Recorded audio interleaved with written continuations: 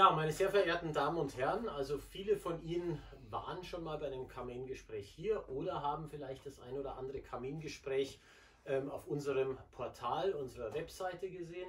Wir machen das jetzt äh, seit einiger Zeit und äh, nehmen diese Kamingespräche zum Anlass, um äh, über ganz bestimmte Themen ähm, rund um das Karl-May-Museum und rund um die, um die Karl-May-Szene zu diskutieren. Wir hatten im letzten Jahr zu unserem Jahresthema und Friede auf Erden ähm, Spezialthemen äh, äh, diskutiert, verschiedene Spezialthemen, die sind alle abrufbar, werden auch sehr viel abgerufen und äh, ich freue mich ganz besonders, dass wir zu unserem ähm, derzeitigen Jahresthema ähm, die Deutschen und ihre Indianer ähm, das erste Kamingespräche äh, äh, veranstalten dürfen.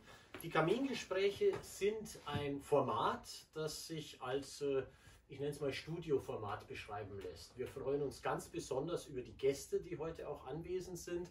Ähm, Ziel ist es aber darüber hinaus, dass äh, die Filme dann auch einer Allgemeinheit und einem interessierten Publikum zur Verfügung gestellt werden. Also zu den Kamingesprächen, um das vielleicht am Rande zu erwähnen, die wir bereits online gestellt haben, haben wir Aufrufe so zwischen 300 und 500 je Kamingespräch. Das heißt, die finden gute Verbreitung und es freut uns sehr, dass wir die Gespräche, die wir mit ausgewählten und sehr kompetenten Gästen äh, zum Thema führen, auch entsprechend ähm, weitergetragen werden. Ähm, in diesem Jahr also unser Jahresthema die Deutschen und ihre Indianer. Und wir haben heute, ähm, wir haben heute das erste Thema, das sich äh, rankt um ähm, die Vermarktung der Indianer- und Wildwest-Faszination. Es ist äh, ein Thema, äh, das ist ein Thema, das sich ganz stark mit, dem, mit der großen Frage auch beschäftigt, wie populär sind Indianer und Cowboy, wie, wie populär ist der Wilde Westen noch, wie wird er vermarktet, ähm, welche Themen werden äh, gezielt angesprochen, welche Zielgruppen werden angesprochen? Und darüber werden wir heute diskutieren. Ähm, ein bisschen Werbung in eigener Sache sei gestattet. Im Mai wird es das nächste Thema geben, ähm, und zwar ein sehr historisches Thema im Gegensatz zu heute. Da wird also ein sehr aktuelles Thema werden. Es wird um Wildwest-Shows gehen. Es wird um die Szene der Wildwest-Shows gehen. Danach im September eine große Diskussion, die wir überschrieben haben: Ostindianer, Westindianer. Wie hat sich also die Szene der Indianerbegeisterung in Ost und West sehr unterschiedlich entwickelt? Und äh, abschließend im November stellen wir die ganz große Frage, die uns permanent in den Medien äh, äh, be, äh, begegnet, gerade jetzt wieder aus Thüringen. Es gibt also auch andere Themen in Thüringen. Ähm, dürfen wir noch Indianer spielen? Das wird unser Abschlussthema. Heute aber, und äh, jetzt äh, kommen wir zu unserem Gast, über den ich mich ganz, ganz besonders freue, ist Herr Bernhard Schmidt bei uns. Und der Bernhard Schmidt äh, ist sehr, sehr gut bekannt, weit über die Karl-May-Szene hinaus. Er ist also der Verlagsleiter des äh, Karl May Verlags, ein großer, großer Kenner Karl Mays und jemand, der, ähm, und jemand der, der darüber hinaus eben auch sein Fach ausnahmslos gut beherrscht. Fach im Sinne von ähm, Verlag, einen Verlag aufzu, aufzubauen, einen Verlag zu leiten und vor allem auch äh, ein Händchen und ein Näschen dazu da, dafür zu haben, wie sich so ein Verlag weiterentwickelt. Ähm, Herr Schmidt ist Historiker. Er ähm, hat also einen historischen Zugang zu den Themen und hat äh, neuere Geschichte, aber auch Buch- und Bibliothekskunde studiert äh, an der Universität in Erlangen. Und er hat ähm, abgeschlossen 1987, also ist nicht allzu lange her, ähm, mit dem Magister Artium. Seine berufliche Laufbahn ist die eines, naja, eines, eines, eines äh, äh Verlagsmanagers, sage ich mal. Er hat mit einem Volontariat begonnen in Wien, war dann äh, äh, drei Jahre lang Verkaufsleiter beim Boje Verlag und Pestalozzi Verlag in Erlangen. Er hat dann als Assistent äh, der Geschäftsführung im Karl-May Verlag begonnen und dann, ist jetzt auch schon 25 Jahre her, den, den äh, Karl-May Verlag Bamberg mit übernommen. Nebenbei ähm, ähm, bietet er sich immer wieder an für Lehraufträge, die er leitet, um eben gerade im Fach Literaturvermittlung an der Universität Bamberg, also es geht um Verlagsarbeit, ähm, Studierenden die Möglichkeit zu geben, von seinem Erfahrungsschatz äh, zu partizipieren. seit 2007 ist er alleiniger geschäftsführender Gesellschafter der, der, äh, der Karl-May Verlags GmbH und als solcher und vor allem Kenner der Szene ist er heute bei uns. Also herzlich willkommen, Herr Schmidt, im Karl-May-Museum beim Karl-May-Gespräch. Ähm, die Hobbys darf ich nicht vorenthalten, die haben Sie mir auch noch genannt. Also ein Hobby ist Westernreiten mit eigenem Pferd. Schach, das äh, scheint äh, vielleicht genetisch äh, verankert zu sein, Skifahren und natürlich Lesen. Ja, also herzlich willkommen nochmal, Herr Schmidt. Ich möchte ganz gern mit Ihnen in das Thema dahingehend einsteigen, dass wir, ähm, also es gibt, es ist ja ein sehr vielschichtiges Thema, über das wir heute sprechen wollen. Wir wissen alle, dass äh, Sie als ähm, ja, Karl-May-Spezialist, als Karl-May-Verleger und als Kenner der Karl-May-Szene ähm, ähm, vermutlich mit unterschreiben würden, dass ähm, das Thema der Vermarktung der Indianer- und Wildwest-Faszination, also über Merchandise, über Film, über Bühne, über Buch, ähm, begann mit Karl May. Äh, ich, wir haben das in unserer Ausstellung hier auch entsprechend formuliert. Wir haben geschrieben, äh, Karl May ist gewissermaßen die Keimzelle der Indianerbegeisterung in Deutschland. Man kann es relativieren, dass es eine der Keimzellen ist, aber es ist wahrscheinlich eine ganz, ganz wichtige.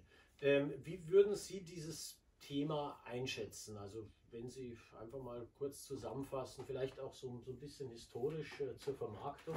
Wie ging das los? Also hat Karl May dafür gesorgt oder waren es dann doch eher die Filme, die auslösendes Element waren für die, für die Vermarktung der Indianer- und Wildwest-Faszination?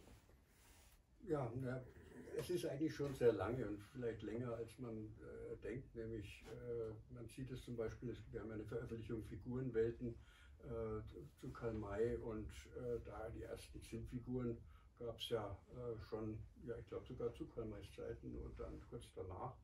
Äh, das ist ja auch eine Art Merchandising, also eine Art mhm. Faszination eben figürlich darzustellen, die, die Protagonisten aus den Romanen aber das zieht sich eben durch über all die Jahre und es gab auch ganz frühes, es gab äh, Zigarettenmarken, die nach Karl May genannt, benannt wurden. Es gab alles Mögliche, auch frühe Karl May Spiele.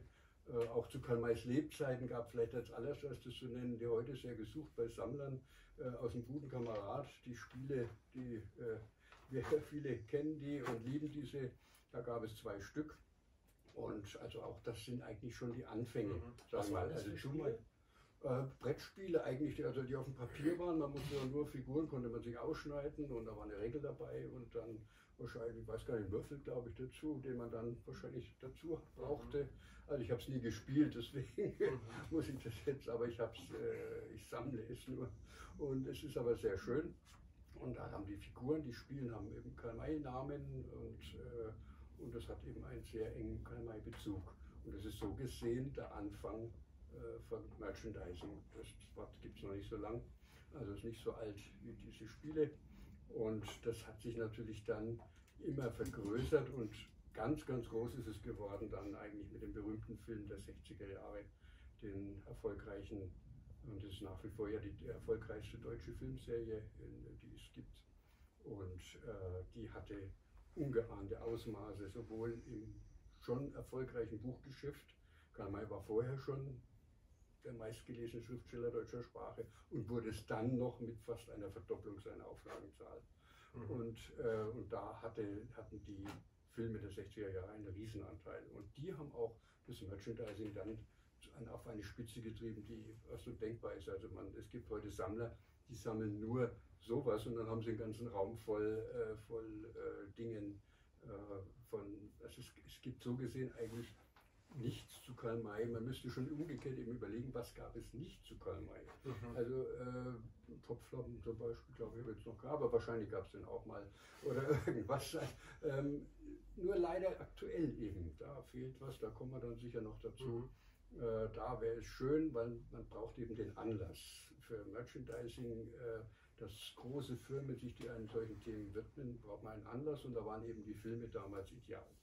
Mhm. Und äh, da gab es eben die Puzzles, die, die, die Spiele, die, und wir, wir werden dann noch auf einiges stoßen. Mhm. Und äh, das, das zieht sich eben durch, aber es ist in der letzten Zeit ruhig geworden. Und Indianer und äh, Western ist sicherlich Karl May, für mich ist, denke ich, aber es gibt vielleicht Berufenere, die das beurteilen können, aber Karl May hat sicherlich einen Riesenanteil, dass wir uns ja so für Indianer und, und Wildwest äh, interessieren. Und ähm, beim Orient ist es ein bisschen schwieriger, aber da sicherlich wissen wir auch viel über den Orient durch Karl May, aber äh, es ist halt einfach Winnetou immer gewesen, die Gestalt, die alle fasziniert hat. Und die Filme haben das eben dann noch extrem verstärkt. Mhm. Und äh, ja, da äh, bin ich äh, äh, überzeugt eben, Karl May ist hier der Vorreiter für, für alles, was dazu, und das hat sich vieles auch verselbstständigt. Es gibt heute viele Indianergruppen und Fans, die dann ja heute gar nicht mehr dazu stehen, dass sie, äh, dass sie Karl May äh, mögen. Und ich glaube, es ist, die Leute sind dann immer nicht ganz ehrlich, weil sie wahrscheinlich auch durch Karl May jetzt überhaupt zu dem Hobby und zu dem Interesse gekommen sind. Mhm. Und äh, da äh, heißt eben auch dieses Interesse nehme, nehme ab. Also das heißt ja heute oft, ja, Indianer und Midwest ist heute nicht mehr so interessant. Aber wenn wir dann über Merchandising reden, kann ich mal eins äh, gleich dazugeben, dass zum Beispiel Playmobil, einer der ganz großen Player von äh, äh, Figuren oder im Spielwarenbereich, die leider keine Lizenzen machen, also deswegen gibt es da kein KMI, aber die hatten tatsächlich auch ihr Cowboy-Sortiment so aus dem Programm genommen und ich hatte jetzt erst vor einem Jahr oder so gesehen, dass die ganz Großes wieder reinnehmen. Mhm, und die mhm. gucken ganz genau, die haben sicherlich eigene Leute, eigene Abteilungen, die schauen, was ist interessant und was interessiert die Leute, was wird gekauft. Mhm. Und da war ich sehr erfreut und so, dass also dieses Thema auch wieder aufgegriffen wurde. Mhm. mhm es ist ja, es ist ja wirklich bemerkenswert, ähm, dass das gerade also gerade das Spielen von Cowboy und Indianer, ob man das jetzt persönlich äh, spielt, also Kinder im Park oder ähm, ob man das jetzt mit Figuren spielt, ich denke jetzt an das Figurenspiel, so unglaublich populär wurde. Und das ging ja, also die frühen Figuren, Sie haben es angesprochen, sind, sind, sind so alt wie Karl May. Und äh, das hat ja wirklich in den 30er Jahren auch schon ganz mächtig Fahrt aufgenommen. Äh, man kann sich ja schon die Frage stellen, warum war es so unglaublich populär, Cowboy und Indianer zu spielen, also irgendwelche äh, äh Tipi-Dörfer äh, aufzubauen und, und Wildweststädte. Warum war das so unglaublich populär? Es könnten ja auch durchaus irgendwelche Szenarien aus Afrika sein oder, oder Szenarien aus, anderen, aus dem Orient zum Beispiel. Ne? Da gibt es Vergleichbares ja überhaupt nicht. Ähm, genauso kann man die Frage stellen, wieso ähm, diese große Popularität eben gerade für das Indianer- und Wildwestspiel. Die ersten Filme, die gedreht worden sind, zum Beispiel, ne, basierend auf Karl May, waren ja alles Orientfilme. Und erst mit den, mit den, mit den äh, Wildwest, äh, mit, den, mit, den, mit, den, mit, dem, mit dem nordamerikanischen Thema hat es ja richtig Fahrt aufgenommen. Hätten, haben Sie da eine Erklärung dafür, warum Ich glaube, das Stichwort war? Äh, Nordamerika. Also ich meine, die Nähe, die natürlich die Faszination, die auch Amerika mal ausgelöst hat, äh, Im Moment ist sie vielleicht etwas gedämpft durch die Führung, aber ansonsten ist ja äh, Amerika immer eine, hat eine Faszination für viele, für uns Deutsche, eigentlich immer eine sehr gute Beziehung auch dorthin. Und äh, das ist sicherlich ein Thema, das man mehr als in den Osten hat. Also der, der, heute noch ist der Nahe Osten für uns eigentlich weiter entfernt als Amerika, also irgendwo von der, im Hirn zumindest, nicht auf der mhm. Landkarte. Mhm.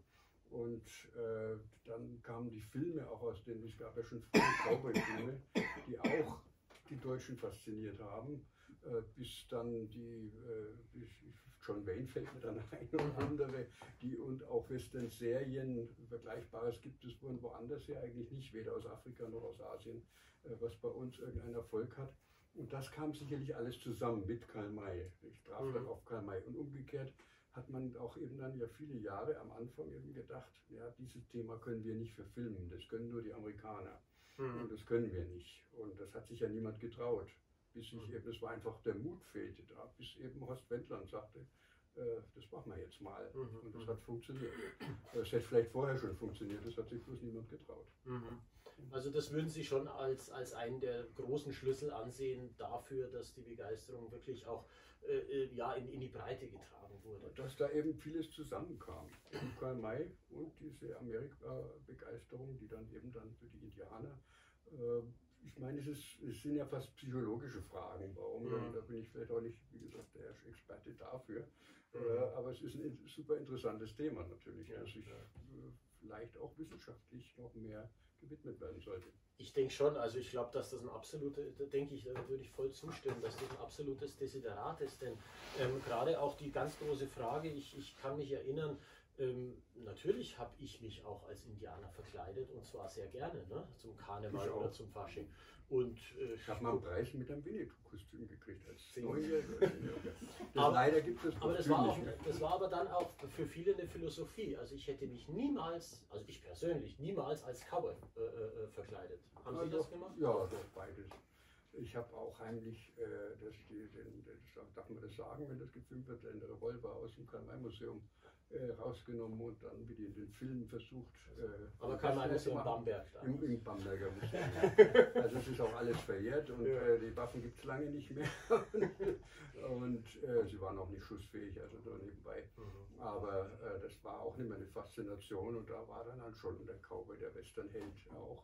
Also das, bei mir hat das Indianer und, und Cowboy war immer ein, man sagt ja immer Cowboy, ist ja eigentlich auch Blödsinn, aber, ja, ja, ähm, aber das äh, das war für mich gleich. Mhm. Aber es war genauso wie eben unsere Vorgänger. Es gibt ja schöne alte Bilder, auch wo meine Familie, also der, die, der, mein Vater mit seinen Brüdern drauf ist, das gerne gespielt haben. Also eine ganze Generation vorher, bestimmt auch noch vorher schon. Und, äh, und so hat sich das gab, war das bei uns auch gang und gäbe. Also, äh, und ich glaube, dass es auch heute noch sehr beliebt ist. Und äh, man verkleidet sich auch heute noch gern als Cowboy und Indianer und das finde ich gut so. Mhm. Und wollen wir ja nicht in die Diskussion eintreten. Nee, nee, das der, ist gar nicht äh, der Behauptet, dass es Leute gibt, die das nicht gut finden, mhm. aber das sind wieder die Leute, die vielleicht zu wenig andere Probleme haben. Ja, aber es ist ja im, im ganz übertragenen Sinne, es ist ja doch eine gewisse Art von Annäherung. Ob man das im Karneval macht oder ob man mit solchen Figuren spielt. Oder Mir hat es das näher gebracht und zwar sehr positiv. Ja, ne? Ich meine, ich ja. bin äh, ich bin Indianer sicherlich durch Karl May, durch Karl May Lektüre, aber auch durch das Spielen. Das hat mir nicht geschadet, sondern im Gegenteil, das hat mich äh, äh, zudem das Interesse gesteigert und positiv äh, gesteigert. Mhm. Äh, es, äh, es, ist ja, es gibt ja bei all diesen Dingen auch ein recht, recht romantisches Element, will ich mal sagen. Also es gibt ja da schon, wenn man sich nur diese, diese, wenn man sich nur diese, diese, bleiben wir mal bei den, bei den Indianer- und Wildwestfiguren, das ist ja alles stark idealisiert. Ne? Es gibt dann also das Tippidorf und, und dann gibt es das Vor und, und ähm, da ist ja eine ganz stark romantisierende Note drin. Ist das etwas, was bei Karl May angelegt ist? Also ist das in den Büchern angelegt, dieses stark romantisierte Bild vom, vom, vom, von Nordamerika? Ja, sicher. Ich meine, wir müssen ja auch immer sehen, die Geschichten sind natürlich erfunden und äh, ist ja immer auch, die, da kommen wir jetzt einen anderen Zweig, dass es natürlich faszinierend ist, dass diese äh, dass er die Geschichten erfunden hat und trotzdem so viel Nähe zur Realität da drin steckt. Mhm. Ähm, aber äh, Romantisierung ist es sicherlich. Und das, Indianerleben war sicherlich nicht so schön, wie es bei Kanai uns eigentlich nahegebracht wird. Also, äh, und die Indianer waren sicherlich auch viel, sehr viel vielfältiger. Man kann ja nicht nur den Indianer sprechen, das ist ja äh, ich meine, an dem Ort hier bin ich vielleicht der Falsche, darüber mhm. zu berichten, aber, äh, ähm, aber das ist, äh, ja, es wird alles, die heile Welt äh, ist natürlich, abgesehen davon, wenn man spielen will oder wenn man sich damit beschäftigt, möchte man ja auch nur das Positive. Ich meine, man möchte ja hier äh, da nichts Negatives. Ich habe nicht nur mich auch verkleidet, ich habe auch ein großer Stolz war für mich meine Westernstadt mit äh, äh, den Figuren, damals noch die mhm. unbeweglichen äh, Figuren, leider die, wo immer die Gewehre und alles abgebrochen war. Äh, das, äh, war aber trotzdem war das ein Heiligtum. Mhm. Ich habe die dann mhm. irgendwann meinem Neffen äh, vererbt und der hat dann natürlich auch noch damit gespielt. Also der ist heute 19 und äh, hat also vor ja, sagen wir mal 10, 11 Jahren damit vielleicht gespielt. Also man sieht, das kam da auch noch an und das hat mir auch gut gefallen, dass es so war. Mhm. Weil ich, ich darf mal kurz was äh, hier rüberholen. Wir haben also bei uns in unserem, in unserem Museumshop, ne? das, ist so ein, das ist zum Beispiel so ein Starter-Set. Ne? Also kriegt man relativ günstig zu kaufen. Ne? Da ist alles dabei, was man so braucht. Und das ist ja im Prinzip komplett standardisiert. Das geht ja zurück bis in die 30er Jahre mit den ersten Figuren. Ne? Das ist immer genau der gleiche Standard, den man, den man eben so kennt. Und meine Frage ich weiß nicht, ob man die beantworten kann. Ne? Meine Frage ist wirklich, also wer, äh, äh, wer sorgt für diesen Kanon? Ne? Also ist das wirklich aus Karl May erwachsen, dass, dass dieses so, so, so ein Kanon ähm, eben, natürlich ist es ein Tipi und es ist eben kein Langhaus und es ist eben kein äh, äh, äh Pueblo-Häuschen. Ne? Ähm, das ist dieses, diese Standardisierung, die sich komplett herausgeprägt hat. Und es geht ja über die Literatur, über, über, über solche Figuren bis hin zu Computerspielen. Ne? Es geht immer in diese Standardisierung. Also ich meine, ich verbinde damit auch, wenn jetzt über irgendwelche Themen berichtet wird, wir brauchen ja heute nur äh, die Presse zu verfolgen, äh, ist wird sobald das Thema Indianer, Cowboy oder sonst was, aber auch Orient, wird ja immer auch Karl May von der Presse zum Beispiel herangezogen. Mhm. Ja mit, äh, und das hängt sicherlich alles irgendwie zusammen. Überall, Karl May schwebt immer überall. Ich meine, er hat halt äh, unsere Gesellschaft, unser Denken viel geprägt. Ich meine, das hat sicherlich damit zu tun, dass ihn eben auch so viele Millionen eben auch gelesen haben, noch mehr Millionen also von den heutigen, äh, die Filme gesehen haben und die, jeder irgendwie kennt und man das damit dann verbindet. Es hat sich alles so gegenseitig aufgebaut. Mhm. Und heute eben, äh, ob er jetzt das alles wirklich alleine verursacht hat, das sind wir wieder bei der Frage, die ich nicht beantworten kann. Mhm. Also die, die vielleicht äh, nähere Untersuchungen noch braucht. Ja. Aber vielleicht nur so Ihre persönliche Einschätzung dazu. Also wenn Karl May jetzt im Publikum, wenn Karl May im Publikum im Bad Segeberg sitzen würde, ähm, was, was würde er denn dazu sagen? Ähm, was er dazu sagen mhm. würde? Oh, das ist eine gute Frage. Äh, zu, zu, welchem Zeitpunkt? Am Anfang hätte er sicherlich begrüßt. Später hat er sich ja von allem immer so schön distanziert und, ja. und alles.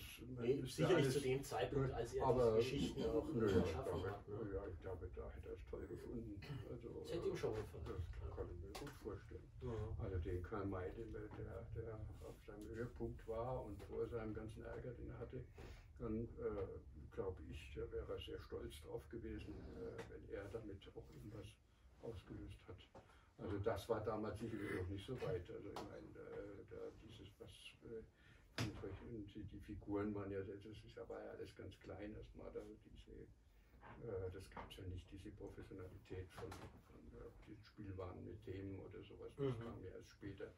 Mhm. Und, aber ich glaube, ihm hätte das gut gefallen. Mhm. Aber auf das kann ich natürlich noch spekulieren. Ja, und es würde ihm wahrscheinlich, wir haben ja zuvor äh, äh, schon darüber gesprochen, ähm, ähm, also im, Vor im, Vorgespräch haben wir uns darüber unterhalten, es würde ihm dann vermutlich auch gefallen, wenn jetzt äh, ein neuer Winnetou-Film ins Kino kommen würde? Äh, bestimmt, wenn er, wenn er, ja, ein Winnetou-Film, äh, wenn es eine, einer werde, eben nach seinen Büchern ist, wird es ihm sicherlich gefallen. Genau. Ähm, das letzte, was wir sehen durften oder mussten, hätte ihm wahrscheinlich wie uns auch nicht gefallen. Äh, die 60er Jahre könnte ich mir vorstellen, dass zumindest die ersten zwei ihm auch gefallen hätten. Mhm, ähm, und, und wenn jetzt was Neues kommt, was äh, das Thema wieder auffrischt, also wir hoffen äh, dann, ich meine, wenn er noch da wäre, würde er mitschreiben, ne? dann würde er schreiben. Mhm. Und glaube ich auch nicht, dass es einer besser könnte als er, aber ähm, Insofern würde es, denke ich, generell begrüßen. Mhm. Ähm, die ersten Versuche, die wir übrigens in diesem Jahr feiern, wir feiern ja eigentlich diese 100 äh, Jahre Karl-May-Film. Äh, es ist also 1920 der erste mhm. Wir haben es mhm. vorhin erwähnt, dass das ein Orient-Film war, die leider verschollen sind. Mhm. Und äh, ja, manchmal möchte man vielleicht auch sagen, zum Glück, wenn man so Stummfilme anschaut, die sollen ja nicht besonders mhm. unterhalten oder gut gewesen sein wäre vielleicht für uns auch schwer, den durchzustehen, so einen ganzen Film. Aber sie wäre natürlich super interessant, äh, wenn mhm. sie irgendwo mal was doch noch auftauchen mhm. würde. Aber immer 100 Jahre. Und äh, ja, eben, äh, damals eben aber noch nicht das ausgelöst, was eben dann mhm. die mhm. Zeit musste dann das mhm. reif werden dafür. Also jetzt, äh, ich gehe mal davon aus, als, als Verleger und auch als, als Kaufmann, begrüßen Sie all diese Initiativen, weil das letztlich natürlich auch, äh, äh, auch, auch geschäftsfördernd ist. Ja, ähm, wie, wie würde das der, der, der Karl-May-Kenner sehen? Also Sie also, kennen ja auch die Bühnenstücke. Wie, wie wir begrüßen eigentlich alles, was positiv und das meiste zu Karl-May ist. Und äh, Merchandising war auch für uns, für den Karl-May Verlag, eine ganz, ganz wichtige Stütze über viele Jahre. Mhm. Ich meine, das Hauptgeschäft habe ich leider, obwohl ich jetzt auch schon recht lange dabei bin, äh, nicht mehr mitmachen dürfen, äh, weil das dann schon abgeebbt war. Aber die Umsätze mit Merchandising waren mal ja, fast gleichbedeutend mit Büchern oder höher sogar. Also auch allein nur bei Lizenzeinnahmen oder so. Mhm. Also das, da ging es äh, um richtig gute Beträge. Und das war halt, das heißt im Umkehrschluss, die Firmen, die damals also was auf den Markt brachten, haben richtig gut verkauft. Mhm. Also Figuren, es gab die Firma Mattel, die wir heute noch kennen, jeder kennt die Barbie-Puppe. Mhm. Und die Firma Mattel hat äh, eine Karl-May-Serie auf den Markt gebracht. Also das, das die waren äh, Umsätze über zig Millionen, also das ist unbeschreiblich, was die verkauft haben. Und es war nur damals, das ist natürlich auch interessant, denen war das zu klein, weil sie die Karl-May-Figuren nicht im Ausland verkaufen konnten. Mhm. Mhm. Und äh, Mattel natürlich global denkt, eine Barbie-Puppe gibt es in was weiß ich wie viel zig Ländern und Karl May war eben nur für den deutschsprachigen Raum und es war für eine Weltfirma Mattel zu klein. Aber so, so eine Indianerfigur hätte man doch sicher auch in äh, Amerika Das hat sich aber bei denen anscheinend dann nicht so durchgesetzt. Die Amerikaner Aha. anscheinend sind da vielleicht nicht so offen wie wir eben, äh, dass wir eben für Indianer was Positives sehen und in Amerika ist es vielleicht nach wie vor ja noch so. Also, dass, also auf die, bis auf die Indianer selber haben sie so tolle Stellung haben sie ja nach wie vor doch nicht. Das heißt, amerikanische Kinder spielen auch nicht mit Indianer- und Cowboy-Figuren? Nach meinem Wissen wohl eher weniger. Mhm. Also bestimmt viel weniger, als es bei uns ist. Mhm. Mhm. Ähm, können Sie da ein Beispiel geben, also gerade zu den Lizenzen, wie, wie hat man sich das vorzustellen, wenn also da eine Lizenz erworben wird? Naja, es gibt ja bei, also es gibt die sogenannten Marken und Werbemarken. Der Karl Maybach hatte sich eben einige Marken gesichert und dann äh, äh, konnte man, also hat man äh, zusammengearbeitet und das war auch nicht zum Nachteil dieser Firmen, sondern die haben das auch gern gemacht. Und äh, oft hat man dann auch mit den Filmfirmen zusammengearbeitet. Mhm. Äh, mit, äh, weil ja natürlich oft auch Pierre Brice als Winnetou dargestellt wurde oder auch mit Pierre Brice haben wir zusammen äh, vieles vermarktet. Und das war lange Zeit sehr erfolgreich. Nur ist das logisch eigentlich, dass das langsam abebbt und mhm. deswegen ihre, äh, ihre Einwand sehr berechtigt. Wenn also was Neues kommen würde, was Erfolg hat, wie gesagt, das letzte war das leider nicht. Ähm, und jetzt ist eben was in der Planung mit einem jungen äh, mhm. Winnetou, was natürlich dann nicht von Karl May stammen kann, weil er solche Geschichten nicht geschrieben hat.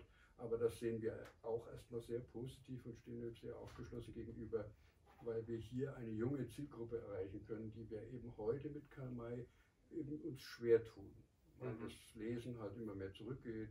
Es wird immer schwieriger, die jungen Leute zu erreichen, obwohl ich, wenn wir sie erreichen, wenn wir sie dazu bekommen, dass sie mal Karl May reinlesen, am besten Schatz im Silbersee, nicht Winnetou 1, und was ist immer so meine Devise, weil äh, eben die Bücher, die Karl May speziell für die Jugend geschrieben hat, mhm dann äh, hat man die große Chance, äh, auch heute noch junge Leute zu begeistern. Nur, sie lesen nicht einmal rein. Sie lesen eben auch die ersten fünf Seiten nicht. Es gibt eine Voreingenommenheit, die ich nicht erklären kann, gegen die wir über, übrigens auch im Buchhandel, selbst heute war ich selbst hier in Radebeul, wir im Buchhandel, ah, die jungen Leute, die lesen doch das nicht und so, und das ist nichts für die. Und, und mhm. das ist aber so, das sind keine eigenen Erfahrungen, sondern das ist eine Voreingenommenheit, die einfach da ist. Und wenn ich die mal wüsste, wie die überhaupt zustande kommt. Weil, weil Könnte ihr, man dagegen vielleicht auch mal was tun. Weil Ihr Credo ist ja, also wenn die Jugendlichen den Zugang zu diesen Büchern hätten, würden sie sie wahrscheinlich auch lesen. Äh? Wir haben viele auch positive Erfahrungen.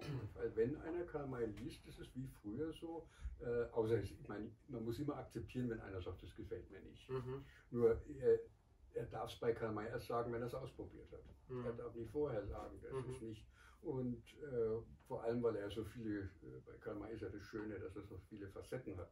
Mhm. Also wenn einer sagt, dass mir gefällt der Wild West nicht, hat er beim Orient oder bei Heimatgeschichten genug andere äh, Geschichten, die er für was für sich findet. Das tue, ich tue mir immer wahnsinnig schwer. Ich werde oft gefragt, mit welchem Karl May Buch soll ich denn anfangen? Was empfehlen Sie mir denn?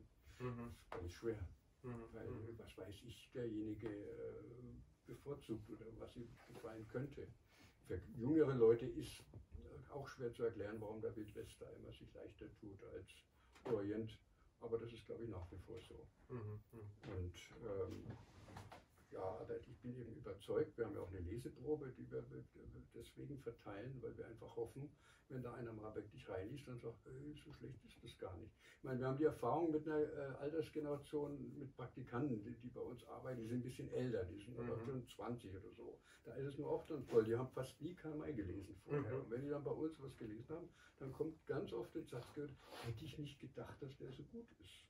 Und das sagen dann Leute, aber vorher war die Voreingenommenheit, können nie auf die Idee KMI zu lesen. Mhm. Das ist ja mhm. was Altes und das braucht man nicht. Er wird in die Klassiker-Ecke gestellt. Ich, er wird, ich, ich habe es heute in einem Zusammenhang schon gesagt, er wird heute wegen der äh, Namensseligkeit neben Thomas Mann gestellt. Ne? Und dann, dann sage ich immer, welche Ehre für Thomas Mann. Und ähm, die, äh, da gehört er aber nicht in, weil da, da erreicht man keine jungen Leute. Äh, mhm. Also Thomas Mann wird auch nicht von den jungen Leuten gelesen. Mhm. Und, und Goethe und Schiller liest sowieso kaum noch jemand, auch wenn es unsere größten Dichter sind. Aber äh, sie stehen sicherlich auch für mich. Ich meine, Germanist habe ich auch so nebenbei noch mitgemacht. Die stehen vielleicht sicher noch äh, literarisch eine Stufe höher als Karl May. Aber mhm. den Erfolg, den hätten sie sicherlich auch gern gehabt. Das sind so viele Leute. Also es gibt eben nochmal viel mehr Menschen, die Karl lieben als Goethe und mhm. Schiller. Mhm. Und, äh, und, das zu Recht, äh, weil er, ist, er unterhält eben besser. Mhm, mhm. Ähm, also vielleicht nochmal zum Stichwort Vermarktung. Sie haben ja auch ein paar Bilder mit, mitgebracht. Ich, ich hole das mal kurz rüber. Ja, da geht es um das Beispiel, äh, das ist, wo ich vorhin sagte, es gab fast nichts, was es kann nichts ja, gab. Genau, die, also, man kann ja ein paar Beispiele vielleicht man kann zeigen. Klassiker zeigen. Also hier, äh, natürlich, das hat uns besonders gut gefallen, wenn dann ein Karl-May-Spiel auf den Markt kam und dann äh, wie aus dem Karl-May-Verlag die, die Optik hatte aber äh, sicherlich heute auch noch ein bekanntes Sammlerstück, Schatz im Silbersee als Spiel. Es gab aber auch Spiele bei Ravensburger, einer der führenden auf dem Markt und, äh, und andere. Oder Figuren äh, gibt es eben zur Zeit, es gibt ja immer noch so Sammlerfiguren, die aber manchmal mit Lieferschwierigkeiten behaftet sind von der Firma Preiser. Aber das sind Sammlerfiguren eigentlich für Erwachsene, weil die aufwendig bemalt, dadurch relativ teuer mhm, und, mhm. und, eben nicht wie heute Spielfiguren sind, dass man die bewegen kann oder irgendwas mit denen anstellen kann, sondern die sind eigentlich mehr, um sie irgendwie ins Regal zu stellen. Mhm. Da gab es auch hier noch eine, äh, das Parallel dazu von Janetzki Art, gab es so Figuren. Aber das ist mehr eben, wie gesagt, das ist mehr der Sammlerbereich, nicht der klassische Merchandising, also äh, mhm. nicht im großen Stil. Aber weil ich vorhin sagte, nichts, was es nicht gab, originell, Senfgläser mit Karl-May-Motiven. Das Schöne daran, an den früheren, früher war das immer so mit den Senfgläsern, kennt wahrscheinlich auch jeder so, dass man die ja dann gekauft hat und jetzt leer war, sind die Trinkgläser zu Hause. Mhm. Und, äh, und da war es eben hier mit Karl-May-Figuren. Sehr, sehr schön, finde ich. Eine ganz tolle Geschichte, äh, Schreibwarenartikel. Hier sind wir hier eine, eine äh, Postkutsche. Das war der Verkaufsträger für die Geschäfte.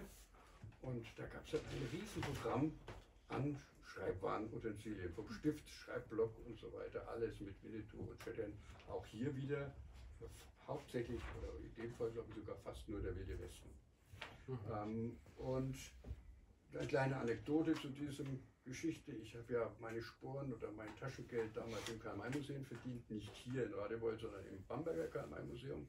Und äh, da gab es auch so einen Verkaufsständer und da kam eine Gruppe italienischer Schulkinder, die waren sehr interessiert am Museum und an den Waren und als sie dann gingen, haben sie, war dieser Verkaufsständer leer, gekauft hatten sie nichts. aber, ähm, aber das werde ich unvergessen, das musste ich dann meiner Großmutter dann irgendwie beibringen, äh, dass ich das nicht verhindern konnte. Aber, ähm, oder hier Federmäppchen wäre natürlich heute ideal, ne, wenn das wieder, aber das wird sich nicht wiederholen können. Ich glaube, dass wir Kinder begeistern können, aber so wie damals, äh, dass man das in der Schulklasse der andere dem anderen erzählt, wie es bei Harry Potter zuletzt war, mhm. hast du das schon gelesen und das schon gelesen. Das, ich bin da realist genug, dass ich das so nicht wiederhole oder wiederkehrt weiß, aber dass es noch genügend Kinder geben könnte und würde, die mit Karl ihre Freude haben am Lesen. Mhm. Also dass der zeitlos ist. Weil diese, ich habe vorhin von der Voreingenommenheit gesprochen, äh, die hätte man auch vor 50 Jahren schon haben können. Mhm. Weil da war Karl May schon auch über 50 Jahre alt und eigentlich auch schon längst ein Klassiker mhm. und längst veraltet aus manchen, mancher Sicht. Mhm. Aber er ist so zeitlos, dass er diese ganze Generation als heute. Heute mehr das Problem, dass weniger gelesen wird. Mhm. Es wird ein bisschen auch in unserer Branche, also beim Börsenverein des Deutschen Buchhandels, wird es ein bisschen schön geredet. Es ist doch gar nicht so schlimm, es wird doch gelesen, aber äh, wir lesen den ganzen Tag, alle wir lesen den ganzen Tag. Und zwar mit mhm. diesen Smartphones, mit dem Tablet, mit einem mhm. Computer. Mhm.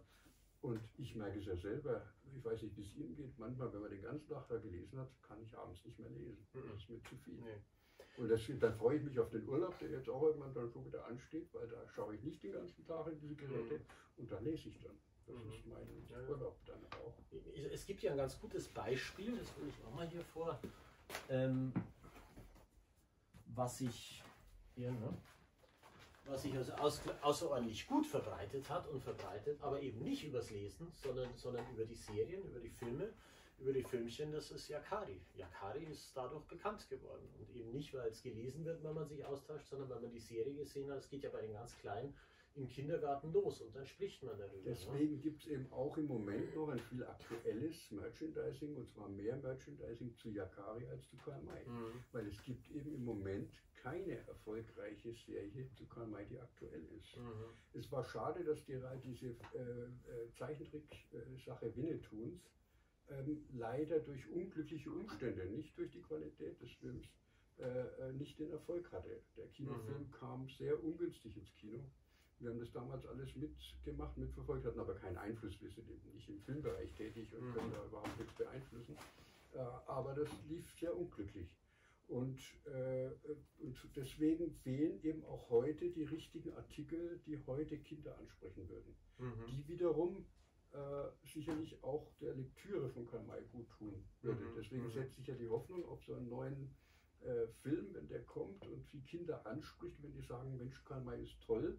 Mhm. Und ich möchte übrigens, dass nicht wir, unsere Generation oder die überhaupt die ältere Generation sagt, das ist toll. Es wäre schön, wenn es uns auch gefällt. Mhm. Aber ich sage auch, es muss den Kindern gefallen. Mhm. mhm. Und ich habe immer gesagt, wenn dann, ich habe mir immer einen tollen äh, Karl-May-Film vorgestellt. Ich habe lange dafür nach meinen Möglichkeiten gekämpft, aber wie ich sagen muss, bis heute eine unerfolgreich, äh, dass eine Neuverfilmung kommt und ich war ein Fan von der mit dem Wolf tanzt und wie viele mhm, eigentlich und mhm. so. Das hätte ich mir so als Karl-May-Film so toll vorstellen können und dann natürlich möglichst nah an Karl-May mit allen Freiheiten, aber möglichst nah, dass er nicht äh, komplett was anderes kommt.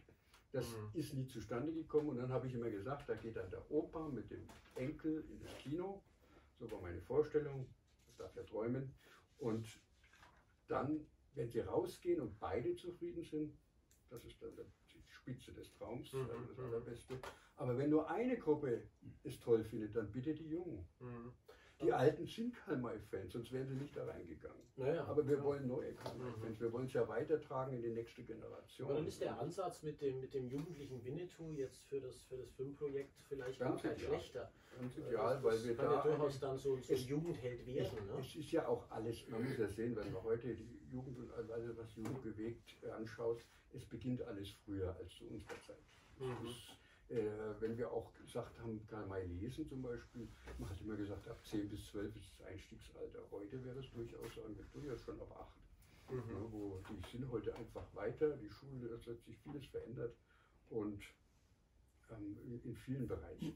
Mhm. Äh, was zum Beispiel fehlt, was bei Karl May im Merchandising absolut unerfolgreich war, es gab es zwar auch schon, aber es war eben nicht erfolgreich, ist zum Beispiel ein, ein Spiel. Ich meine, es wird halt heute viel gespielt äh, auf äh, digital, Computerspiel. Computerspiel. Ja. Mhm. Es gab eins aus der Schweiz, äh, äh das, äh, ich sage deswegen aus der Schweiz, man sagt ja den Schweizern nach, dass sie etwas langsam seien.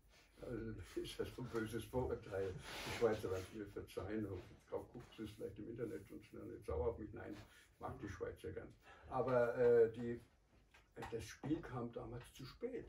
Das mhm. kam dann auf den Markt, es war ja noch, übrigens, es war noch zu Zeiten mit den äh, Floppy Disks oder wie die alle, diese kleinen Disketten. Man muss dann mehrere Disketten da reinstecken und dann den ganzen Bildschirm abtippen und so abpixeln, ob da die nächste Stufe zu kommen. Also war nichts mit den heutigen Spielen zu tun. Und, aber es war, als es auf den Markt kam, war es schon veraltet. Mhm. Und damals war die Entwicklung auch sehr, sehr schnell, vielleicht sogar noch schneller als heute, dass also ein Spiel ziemlich schnell veraltet war Und, und dann kam nie mehr. Es kam dann noch mal eins, die hatten äh, das äh, ganz fest vor für den berühmten Game Boy, der damals mhm. in war. Und da sollte also ein Winnetou-Spiel geben. Die hatten auch eine Lizenz und ich gebe sogar äh, gerne zu. Wir hatten sogar eine äh, tolle Vorauszahlung bekommen dafür. Also es war ganz ernst gemeint. Mhm. Und es ist gescheitert äh, an einer Firma, die, äh, die hatte die Zulassung für Nintendo, für den Game Boy. Die, und die kleine Entwicklerfirma brauchte diese Firma und die haben dann irgendwelche internen Querelen gehabt, mhm. äh, äh von denen wir gar nichts genaueres erfahren haben und das Spiel ist nie auf den Markt gekommen. Mhm. mhm. Also auch ein bisschen Pech dabei, weil sowas kann das Thema äh, am Laufen halten. Und das hat uns gefehlt. Also, mhm. Aber ein eigenes Spiel entwickeln, da hätten wir selber auch eins gemacht. Ja, wir reden hier über ein paar hundert sechsstellige Summen, ein paar hunderttausend Euro, was sowas kostet zu entwickeln. Mhm. Und äh, ich persönlich und auch mein Team hat keine Ahnung, wie sowas geht. Wir, wir machen Bücher und keine Schule. Naja, nee, da kann sich nur eine der großen, eine der großen Game-Entwicklerfirmen dafür begeistern. Aber also jetzt die Hoffnung zum Beispiel, wenn jetzt da ein Film kommt, aktuell, und die haben äh, Kontakte, dann könnte es sein, dass da auch ein Spiel auf den Markt kommt oder irgend sowas. Und das kann dem Thema nur gut tun. Mhm, da bin ich ganz überzeugt. Natürlich ist die große Hoffnung, als KMI-Verleger ist, ist es eigentlich logisch, dass dann auch wieder äh, zum Buch gegriffen wird. Mhm, Aber das mhm. ist heute so, diese Querverbindung. Die Hoffnung, dass man, äh, dass der Großvater, weil er das Buch vielleicht doch noch schenkt, äh, da erzählen ja er genug, aber ich konnte den jungen Mann nicht dafür interessieren. Ja, ja. Das hören wir so oft. Aber wenn er dann, wenn er da vorher gespielt hat, ach, dazu gibt es ein Buch, gibt es die Chance, dass er da reinschaut.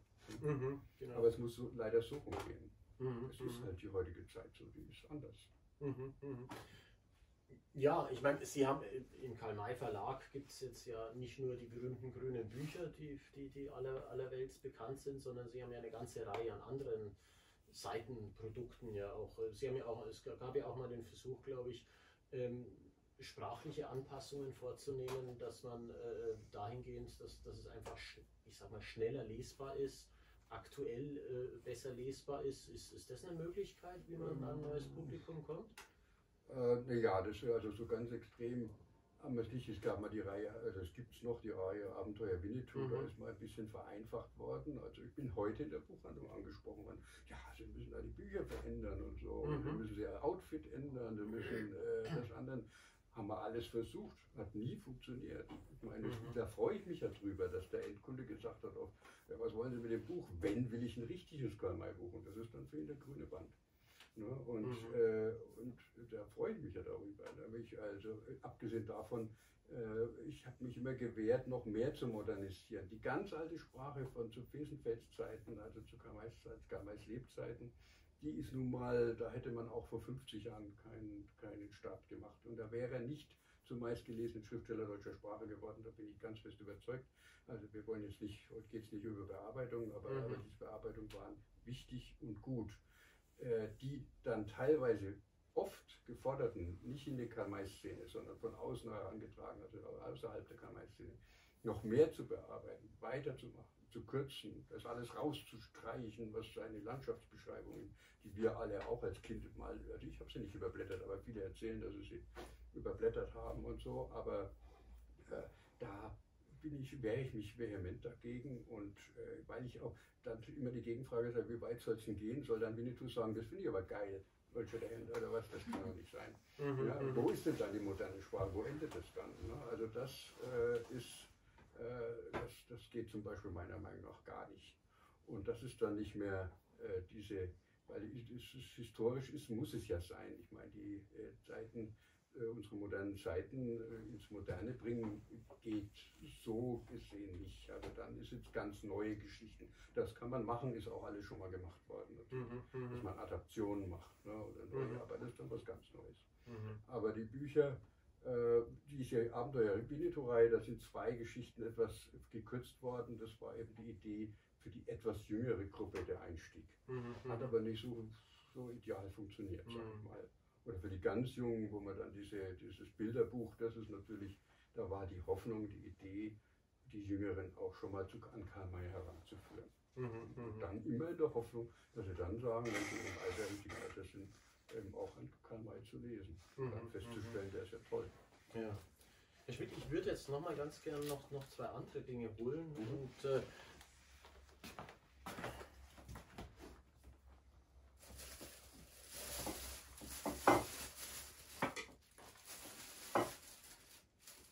also im Prinzip würde ich den mal gerne hochzeigen, einfach nur als als ähm, das ist das ist eine Figur, das ist eine Figur des Herstellers Bullyland, Bully World, Bullyland und ähm, interessant ist äh, die Nachricht, äh, die ich äh, in einem Telefonat, die wir in einem Telefonat erhalten haben, dass diese Produktreihen eingestellt werden, weil die Verkaufszahlen nicht mehr da sind.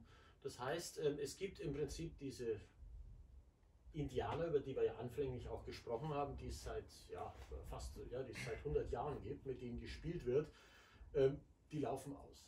Das heißt, heißt das im Umkehrschluss, dass äh, die Faszination, die Begeisterung für, für dieses Thema tatsächlich gebrochen worden ist? Oder dass. Ja, es äh, widerspricht ja dem, was ich vorhin sagte. Mit, der, mit, mit, dem, äh, also mir ist das, das wir haben, ich habe keinen, hab keinen direkten Draht oder Kontakt zu, zu der Playmobil, mhm. sondern ich habe es einfach als wie es jeder Konsument im Prospekt gesehen. Neuheit äh, war eine äh, Westernstadt oder sowas, also und zwar vor einem Jahr. Mhm. Also haben die anscheinend äh, eine andere Erfahrung als Bulliland, also die mhm. erfreulichere, wie ich finde. Und hier könnte ich natürlich jetzt auch sagen, hätte mal Bulliland statt hier diesen Indianer ein Winnetou gemacht, hätten sie vielleicht mehr Chance gehabt. Also man sieht, ich meine, ich, äh, wir haben hier auch, äh, die wollten vielleicht ja dann auch noch zeigen, ja, unser Kostüm. Ähm, dass ich also die erfreuliche Nachricht bekommen habe vor einer Woche auf der Spielwarenmesse, dass die wie geschnitten Brot gehen, wenn man so schön sagt. Also äh, ein, ein Merchandising, wie ich es mir seit längerem nicht mehr habe vorstellen können, dass das äh, kommt, aber es kam und es ist da. Äh, und zwar, äh, das sind jetzt Kostüme für Erwachsene und wie ich seit einer Woche weiß, sind unterwegs auf, auf, äh, in einem Container wohl anscheinend unterwegs auch schon erste Kostüme für Kinder. Auf, äh, ich habe nämlich letztes Jahr bei denen interveniert, habe gesagt, nee, eigentlich das Thema muss auch für Kinder äh, mhm. äh, natürlich her. Und, aber diese äh, sind wohl teilweise schon wieder ausverkauft äh, und äh, die kommen gar nicht so schnell nach. Und ich muss, durfte mir auch von dem Chef von der Firma sagen lassen, Herr Schmidt, Sie haben es ja letztes Jahr gesagt, es geht gut. Sie, Sie hatten recht. Ja, und das finde ich toll. Und natürlich hat es hier sicherlich auch mit zu tun, man hat sich hier direkt an die alten Filme orientiert, die eben sehr beliebt sind. Äh, jetzt zumindest für Erwachsene. Wie es mit den Kindern funktioniert, wird man, wird man sehen. Da habe ich die Hoffnung aber, dass das auch funktioniert. Und es ist eben immer noch besser, Winnetou ist eben eine Stufe höher, als nur den Indianer darzustellen. Mhm, das mhm. Winnetou, okay, Romantisierung wieder auch und so, alles äh, klar. Aber äh, das ist ja eher positiv, finde ich. Und ähm, ja, ich sehe bei Ihnen auch. Wahrscheinlich, Sie haben die Winnetou jetzt nicht wahrscheinlich schon verkauft. Ne? äh, nee, wir verkaufen die nicht. Die Achso, aber haben Sie Zeit? aber fertig könnte ich mir vorstellen. Mhm. Ja, und äh, meine, das Ganze läuft eben unter dem äh, Winnetou und äh, ist eine schöne Sache und zeigt eigentlich, deswegen, und so kam ich jetzt drauf, vielleicht hätten die mit einer Figur Winnetou mhm. auch mehr Erfolg. Aber dazu, um so eine Firma dann da, dazu zu bewegen, braucht man eben heute wieder was Mediales. Also das ist für die halt auch immer eine Markteinführung von was Neuem, kostet die sehr viel Geld. Sie müssen die Formen machen, sie müssen dann den Vertrieb und die Werbung und alles umstellen und das machen sie halt gerne nur, wenn sie auch irgendeinen Ausfluss von, äh, Einfluss von außen haben. Wobei man nicht vergessen darf, wir haben die Bühnen, mhm. äh, äh im Jahr 2019 mit 700.000 Besuchern. Mhm. Also ich habe mal die ganzen Zahlen zusammengezählt. Wir haben ja die neue Bühne in Pullman City, die 45.000 Besucher hatte, mhm. die sich noch vergrößern will. Äh, dann diese tolle Zahl von den führenden Bad Segeberg mhm. über 400.000. Elspe über 200.000 und dann die vielen kleineren Bühnen.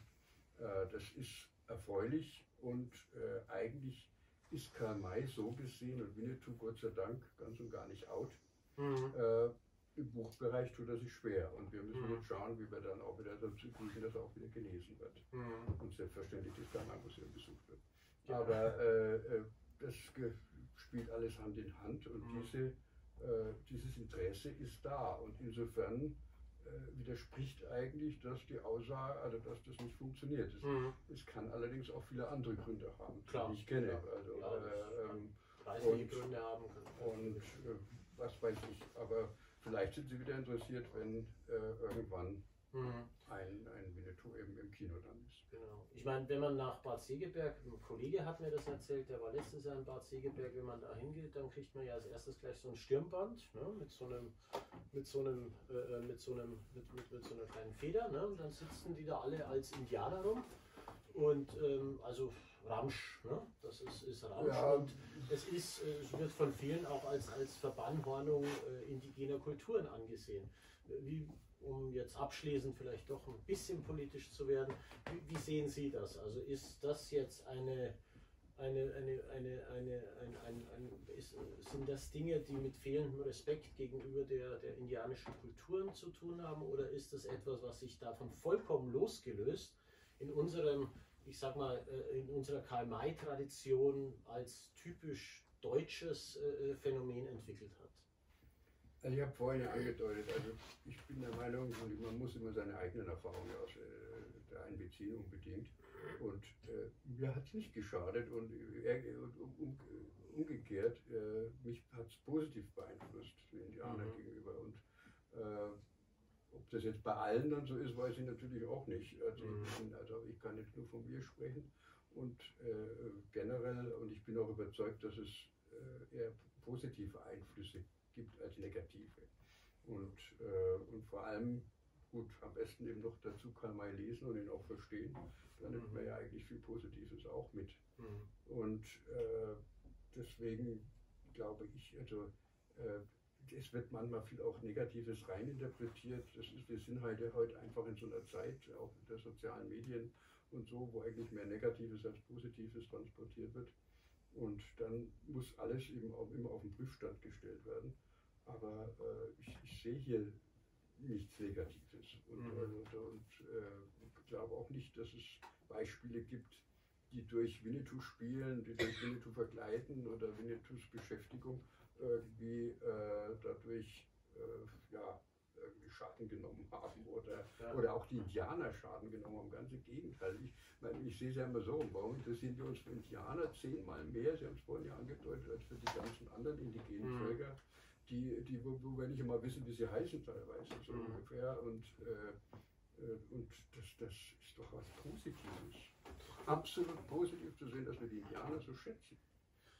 Genau, und das ist ja im Prinzip eine Ableitung aus den äh, Sagen, aus den, aus den Geschichten, die Karl May entwickelt hat, mhm. weil Winnetou ist eine fiktive Figur. Ja, nehmen wir doch, aber nehmen wir doch die Alternative. Wir beschäftigen uns auch nicht mehr mit den Indianern. Es wird doch nicht so sein, dass wir uns deswegen mehr mit denen beschäftigen. Mhm. Im Gegenteil. Wenn wir also jetzt sagen, wir, wir, dürfen das nicht machen und äh, das ist alles negativ, dann wäre die Quintessenz davon, dass wir uns genauso für die Indianer interessieren wie für die Einwohner von Australien, die Ainu, glaube ich, oder, mhm. äh, oder so, also ähm, die, von denen wir relativ wenig hier bei uns mhm. wissen. Mhm. Und, aber gäbe es jetzt dann einen Autor gegeben, der über Australien einen, einen australischen Old Shatterhand geschrieben hätte, würden wir uns wahrscheinlich heute dafür interessieren. Mhm. Und das ist doch positiv. Mhm. Weil da, da, können, meine, es sind auch die Indianer, die, ich glaube, dass es viel mehr Indianer geben, wenn sie davon erfahren, von Karl May erfahren und sowas, die dann immer gesagt haben, eigentlich das ist ja toll. Ne, und so. Und, und natürlich gibt es auch immer ein paar, die irgendwas, aber die gibt es, die wird die gibt es mhm. immer mehr und die wird es immer geben. Ja. Also die Regel ist auch hier mit den Indianern, die ab und zu auch hier ins Museum kommen, dass es äh, eher eher positive als, als negative Kommentare gibt. Aber ich würde Ihr Schlusswort so auch ganz gerne stehen lassen und äh, noch, noch ein paar Minuten gern unseren, unseren Gästen die Möglichkeit geben, mit Kommentaren oder auch gerne Fragen äh, die Man Chance kann ja die Frage auch weitergeben, die wir auch genau. nicht gestellt haben, ja. wie, die eigenen äh, und können gerne Erfahrungswerte noch hier in den, in den Raum werfen, über die wir diskutieren. Haben Sie dann dazu, ja, bitte sehr, Herr Griesbach äh, ich sag mal, die, diese ganze Sache mit, also mit der Indianerbegeisterung ist ja schon angesprochen worden, mit als Indianer verkleiden, Indianer spielen, Filme und dergleichen. Es gibt ja noch eine Sache, äh, die ich gerne mal Sie fragen würde. Äh, eine Form der Indianerbegeisterung ist ja auch, ich sag mal, die May Fanfiction, wo verschiedene, also Winnetou-Geschichten neu geschrieben werden. Äh, es gibt eine Reihe, sechs Bände Winnetous Testament, dann gibt es diese rote Reihe von Herrn Heinecke. Äh, also wo ist das ja auch irgendwie, die würden das ja auch nicht schreiben, wenn die sich nicht für Indianer begeistern würden, behaupte ich es einfach mal. äh, bei den Büchern, wo ich jetzt die Anzahl der Verbreitung nicht kenne, haben Sie da das Gefühl, dass sich das positiv auf Karl-May-Lektüre im, also im Umkehrschluss auswirkt? Äh, ja, das, ich glaube eher, dass es gelesen wird von äh, Leuten, die schon Karl May gelesen haben und gerne mehr lesen wollen. Und äh, also auch zum Beispiel Herr Meinecke, der hat eine ganze Fangemeinde, die also seine Sachen ganz toll finden. Und wir haben ja nicht zuletzt auch im letzten Jahr auch ein Buch von ihm gebracht und sind dabei, wahrscheinlich noch eins zu bringen. Und äh, das ist, weil tatsächlich auch dafür eine Klientel da ist. Und zwar, äh, ja, meine, im neuen Karl May gibt es halt nun nicht mehr. Äh, es wäre schön, wenn wir noch ein paar Manuskripte irgendwo äh, versteckt hätten, aber äh, dem ist leider nicht so.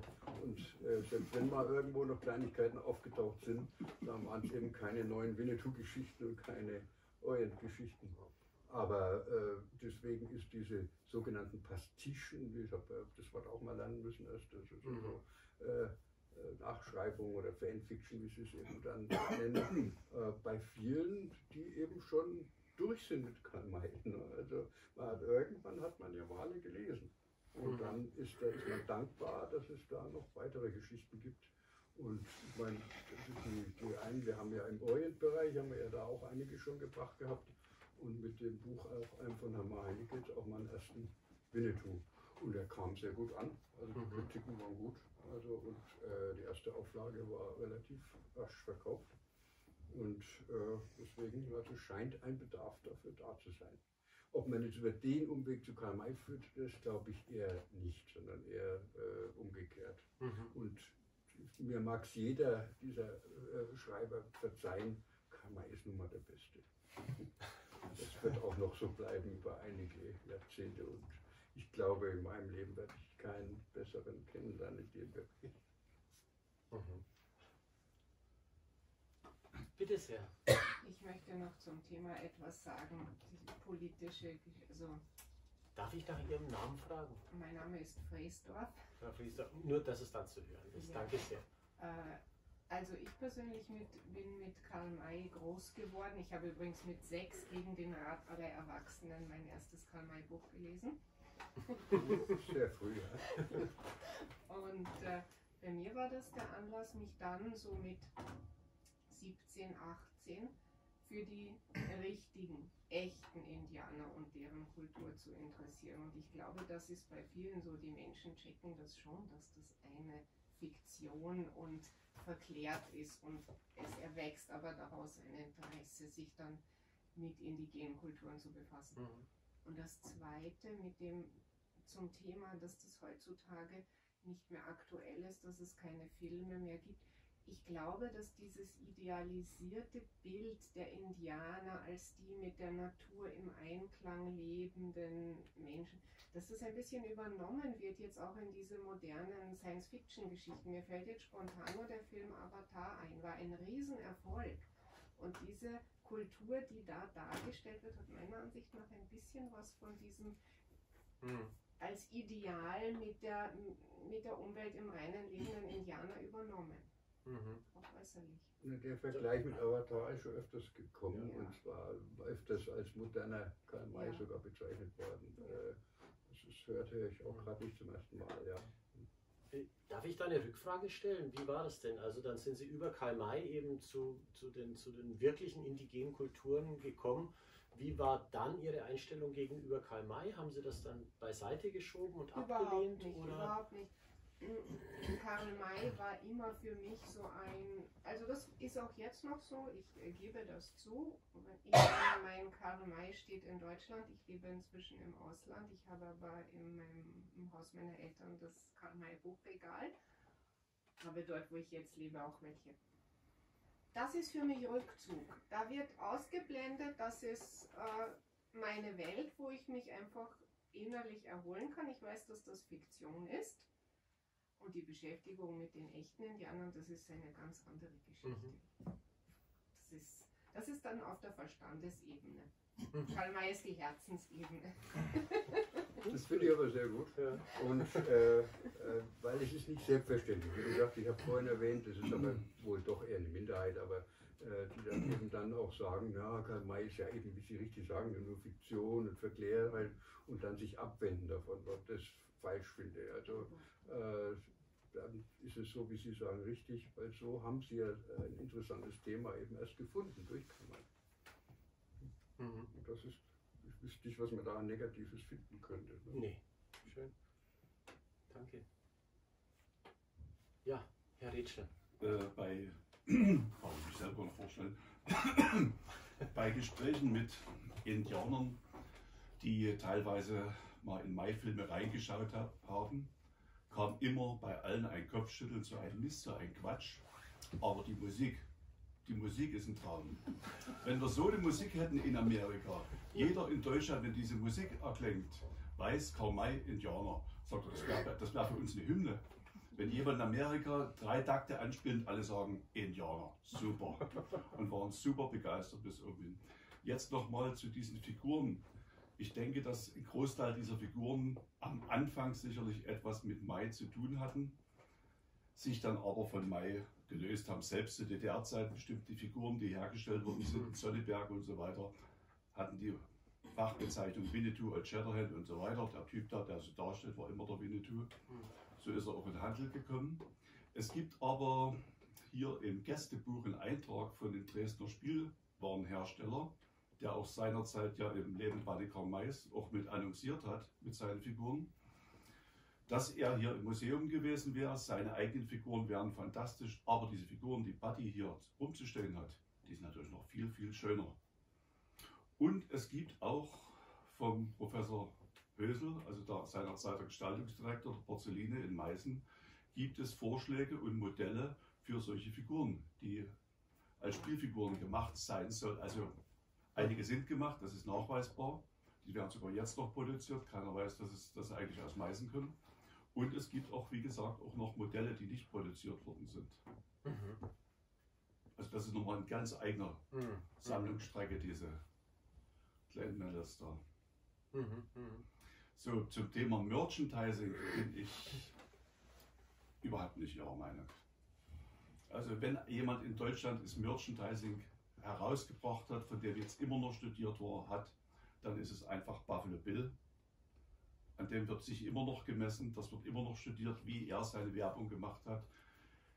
Er hat innerhalb von wenigen Jahren mehr rausgebracht als, als Karl May in über 100 Jahren. Also die sind damals 1890 gekommen. Wann ist der Winnetou gekommen? Na?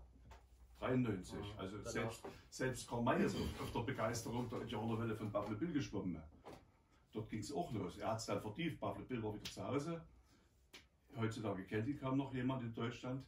Mai in 50 Jahren wird vielleicht auch niemand mehr kennen. Auch der Sache muss man ins Auge schauen. Mhm. Buffalo Bill war der Mann, wo sie alle gelernt haben, und auch jetzt noch. Also Buffalo Bills Merchandising wird auch jetzt teilweise noch gelehrt. Mhm. Ja, Moment, jetzt müssen wir den Griff Merchandising. Merchandising ist in Artikel, die massenweise verkauft werden. Richtig. Und kenne jetzt nicht viele Buffalo Bill Merchandising-Artikel, aber ja, die gab es die gab's zu einer gewissen Zeit. Ja, das ja. widerspricht ja nicht. Also ich weiß jetzt nicht, wo die, äh, äh wo jetzt da das Problem liegt. Ich meine, Karl May gab es in den ersten 50 Jahren relativ wenig. Also bis zu den Filmen gab das Merchandising war relativ klein in den 60er Jahren gab es wahrscheinlich kaum ähm, mehr Merchandising als zu anderen Produkten, also zu Kanai. Also da, da das ist, ist äh, das, aber das widerspricht sich ja nicht.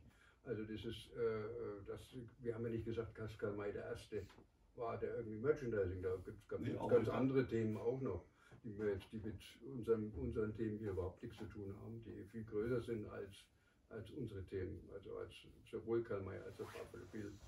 Aber das ist jetzt nicht das, äh, es das geht ja auch nicht wichtig. um Wettbewerb. Er ist nur im Lesen der meistgelesene, er ist nicht der Meister, der größte Meister im, im Merchandising. Mhm. Also das äh, hat, da wäre es uns missverstanden, wenn er äh, das äh, würde ich jetzt da nicht sagen. Aber ich habe nur gesagt, es gab fast kein Produkt äh, äh, zu, was nicht irgendwie mit Kalmar in Verbindung war, das vermarktet wurde. Herr Dr. Wagner, und dann würde ich noch sagen, in Deutschland wird nicht Cowboy und Indianer gespielt, in Deutschland spielt man Indianer und Cowboy. Das ist eine ganz wichtige Sache. In Amerika spielt man Cowboy und Indianer. Mhm. Bei uns war immer der Indianer die Nummer eins. Mhm. Das ist ein Phänomen, was seinerzeit auch der Glenn Petty mal herausgearbeitet hat. Und das Lustige ist, wenn man sich mit Indianern unterhält, ja, sagt ich, das, natürlich haben wir auch Cowboy und Indianer gespielt, aber wir waren immer die Cowboys als Indianer, weil wir wollten doch gewinnen. ne? wir wollten uns nicht immer verprügeln lassen. Ne? Wir waren die Cowboys. Ja, es kommt ja auch noch dazu, denke ich, da, dass man oft gern auch mal was anderes eben spielt. Also ich meine, es gibt zwar, wie gesagt, auch heute da Leute, die das nicht gut finden, aber es ist eigentlich ganz normal, warum, wenn man, äh, es ist eben Fiktion, man möchte eben was anderes machen. Ich, möchte nicht, ich gehe doch nicht auf Fasching und stelle meinen Alltag dar. Ne, sondern, Nee, ich will ja auch in die andere Rolle reinschlüpfen. genau, ne? ich will ja was anderes machen. Eine Art Theater spielen oder so für einen kurzen Moment oder eine andere, irgendwas anderes sein, eine andere Welt eintauchen. Mhm. Und, und da war natürlich Kamai, äh, die man liebte, diese Welt, Mhm. die man eine, auch mal darzustellen, ideal. Ne? Mhm. Mhm. Und deswegen wird ja auch gern, der Indianer wird ja gern gleichgesetzt. Also in Deutschland, es ist alles ein deutsches Phänomen natürlich Mhm. auch. Auch wenn Sie äh, sagen zu den Filmen, äh, die natürlich es sind deutsche Filme. Ne? Das ist mein, natürlich in Amerika hatten die auch keinen großen Erfolg und das ist eigentlich Mhm. äh, nachvollziehbar. Klar. Äh, immer überhaupt wie Karl May im englischsprachigen Raum, vor allem Amerika, eben nie groß Fuß gefasst hat. Mhm. Aber es ist es auch so, äh, wenn, ich sage, der Vergleich da immer, wenn bei uns ein Japaner äh, irgendwie japanische Geschichten plötzlich da wären und die werden ein Deutscher schreibt fiktionale äh, japanische Geschichten oder so, das, das würde in Japan auch nicht ankommen. Also äh, Mhm. äh, und umgekehrt. Also das ist irgendwie, ähm, ich meine, die Amerikaner brauch, warteten nicht auf den Deutschen, der fiktionale Geschichten über ihr, ihr Land schreibt. Das ist, das ist Illusionistisch, illusionistisch darüber nachzudenken. Ne? Also äh, das, das, das, äh, mich wundert es, hat es nie gewundert, dass er da nie so ganz erfolgreich war. Mhm. Und wahrscheinlich auch nicht sein wird. Mhm. Und, aber dafür hier eben umso mehr. Ja, Ja, vielleicht zwei Sachen. Einmal, wie sehen die Indianer das? Wir haben ja mal den Chief der Mescalero Apachen eine englischsprachige Ausgabe von Winnetou geschenkt. Und offensichtlich hat er auch, äh, ob er alles gelesen hat, weiß ich nicht, aber offensichtlich hat er drinnen gelesen. Jedenfalls äh, war die Reaktion, es stimmt zwar alles nicht, was hier drinnen steht, aber die Botschaft ist richtig. Mhm. Das ist doch, glaube ich, viel mehr, als man erwarten konnte. Und das andere äh, zu den Anfängen nochmal. Das ist ja kurios. Karl May hat ja sein, sein Orient mehr geliebt wie Amerika. Mhm. Und auch die, Merkt man doch auch bei der die, die, auch die, die Bücher, die Orient-Bücher sind ja auch besser, also aus meiner Sicht jedenfalls wie die Amerika-Bücher. Trotzdem ist die Faszination zu Amerika. Mhm. Und äh, das liegt äh, sicherlich damit zusammen, hängt damit zusammen, dass einmal, wie Andrew schon gesagt Buffalo Bill, Mhm. der schon vor ihm da war, aber vor ihm waren schon andere. Möllhausen, Gerstecker, die äh, Berichte über Amerika gebracht haben. Selbst unsere Tüchterfürsten haben gereimt hier, Amerika, du hast es besser. Also das war schon Anfang des äh, 19. Jahrhunderts. Dann äh, kam der, der Texas-Verein, äh, die deutsche Besiedlung. Also diese, diese Faszination äh, Amerika, die war schon vor Karl May da. Und die hat er natürlich nur auch ausgenutzt. Und deshalb ist auch mehr für Amerika, für Cowboys und Indianer, oder Indianer und Cowboys, äh, äh, die, die Stimmung als für äh, Beduinen. Äh, ja, wenn, wenn, sollte man den Beduinen gegenüberstellen? Gab es da jemanden? Selbst Kaiser Wilhelm, äh, seine Reise 1898, das hat nie viel gebracht. Es gab zwar da auch mal ein bisschen Orientbegeisterung in Deutschland, aber diese Amerika-Begeisterung, die, die war eigentlich schon vorher da. Mhm. Ja, und die Orientbegeisterung hat sich ja auch ganz anders manifestiert, also über Möbel, über Architektur, über, über Äußerlichkeiten. Aber diese Begeisterung ist eine, die ja wirklich auch äh, über, über die, die Kulturen, über, über die Menschen geht, diese nordamerikanische Begeisterung. Und das spielt bestimmt, also es spielt bestimmt ineinander. Da, da, also deswegen vielen Dank für, für, für Wir müssen auch die. Auswanderung, was der Hans jetzt mal Ja, ganz kurz ja, mit. Es kannte ja eigentlich fast jeder, kannte jemand, Genau. der, der, der nicht mehr da war. Mhm. Und wohin sind sie eben auch hauptsächlich Das ist ausgewandert? es. Ne? In die Wüste ist keiner. Aber das Nee. hatte ich ja vorhin so andeuten Richtig. wollen mit, dem, mit dieser Amerika-Begeisterung, die eben einfach da ist. Natürlich hat die nicht Karl May erfunden, sondern die war eben schon vorher da, völlig richtig. Mhm. Und er hat es nur mit seinen Geschichten nochmal da, auf ein, die, das Feld war schon bereitet, aber er hat eben dann eben da Literatur dazu verfasst, die, die, die bleibend ist. Mhm. Deswegen habe ich auch die Hoffnung, natürlich, also es ist ja schon heute, dass er weniger gelesen wird, aber er hat es ja jetzt schon länger äh, geschafft, an der Spitze zu sein wie ein anderer. Also es, es gibt keinen eben, der auch das, äh, das, das, das schnell ablösen wird und äh, mein, die anderen sind auch hochgeschätzt. Das ist immer der Vergleich, die sind richtig, Möllhausen, Gerstecker, aber es, es liest eben keiner und zwar schon lange nicht mehr. Und äh, das, so gesehen ist eben Karl May, Gott sei Dank, in allem ein Phänomen. Das ist Ja. äh, egal in welchem Bereich. Mhm. Ist hier noch eine Frage? Ja, ich würde nochmal anschließen zu der Spielzeugsache. Also, da jetzt ja gerade auch das Thema mit Buffalo Bill aufkam und vorhin die Frage gestellt wurde, wie sich denn zum Beispiel diese Spielzeugtüte, die wir hier im Shop verkaufen, so zusammenstellt. Das ist nämlich genau der, der Punkt. Das sind alles Elemente und Attribute, die die Kinder, also da, solche Tüten gab es doch schon vor 50, 60, 70 Jahren, solche, solche Sammlersets. Und, das sind das sind genau die Elemente, die man bei Buffalo Bill in der Show gesehen hat. Ja, da ist eine Postkutsche mit dabei, da sind Pferde mit dabei, da ist ein Tippi mit dabei, da ist vielleicht, vielleicht noch ein Kanu mit dabei, aber es sind alles so, so die typischen Wild-West-Indianer-Elemente, die ich so in meinem Kopf habe, mit denen, die mir Karl May gebracht hat, die mir Buffalo Bill gebracht hat. Und so schließt sich natürlich auch die Zusammenstellung.